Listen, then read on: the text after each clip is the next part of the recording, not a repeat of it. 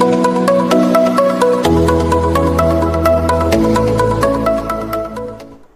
Students आज के इस सेशन में हम डिस्कस करेंगे N C R T six class की English poem the kite written by Harry Behn इस पोएम में एक काइट को एक शिप से कंपेयर किया गया है।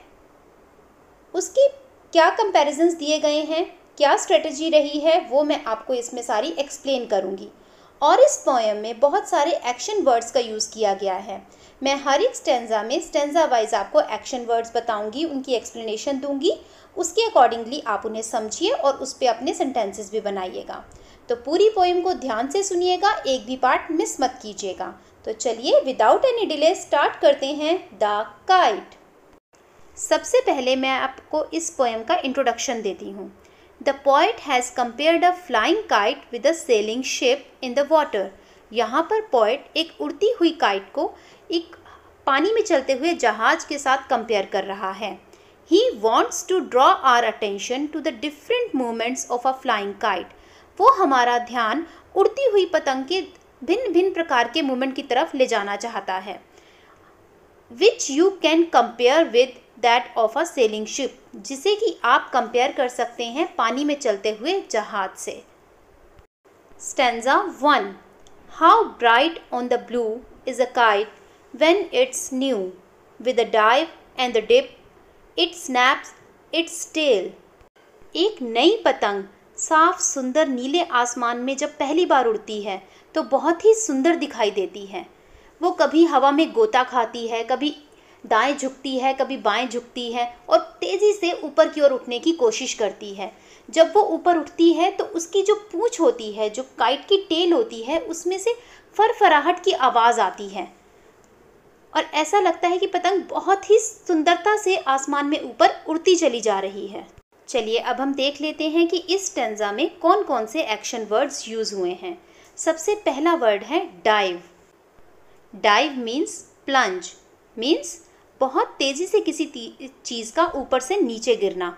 जैसे कि हम स्विमिंग पूल में गोता खाने के लिए ऊपर से नीचे कूदते हैं ना तो उसी फोर्स को बोलते हैं प्लंज या dive next word is dip dip means bend bend मतलब थोड़ा सा नीचे झुकना। Next word is snaps snaps means makes मतलब बनाना या क्रिएट करना। किसी भी तरह की साउंड या उसका निकलना, किसी साउंड का बनना या निकलना, उसे बोलते हैं snap stanza number two then soars like a ship with only a sail as over tides of wind it rides climb to the crest of a gust and pulls, then seems to rest as wind falls.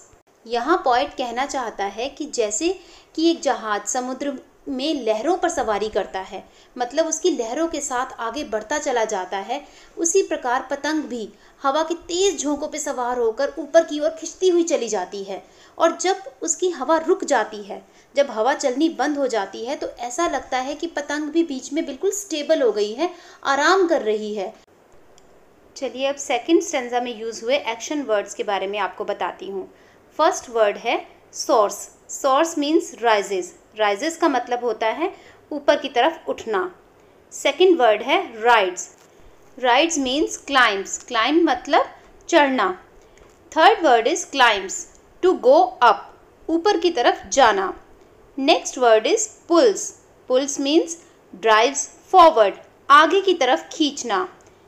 The last word is falls falls means drops मतलब गिरना।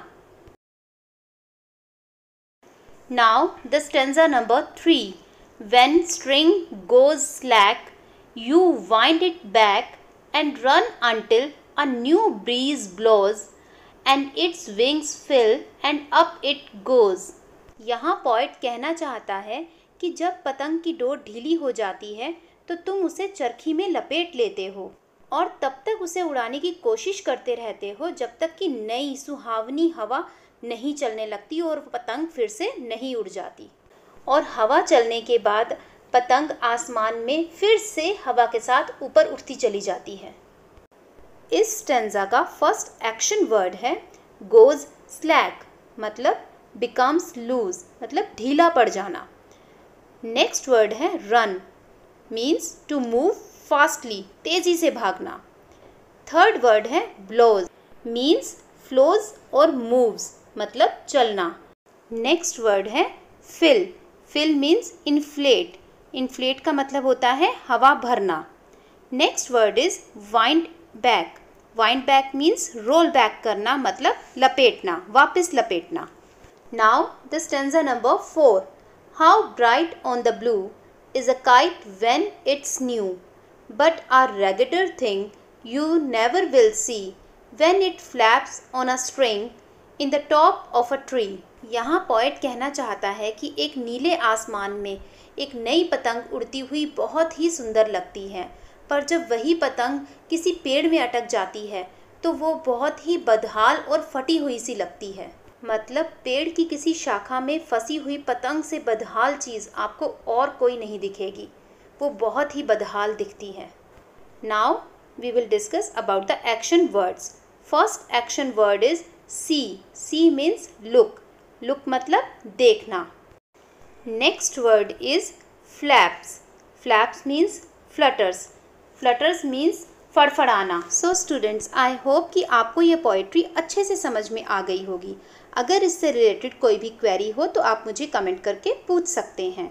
मेरी इस video को like और share करना ना भूलें. Bye bye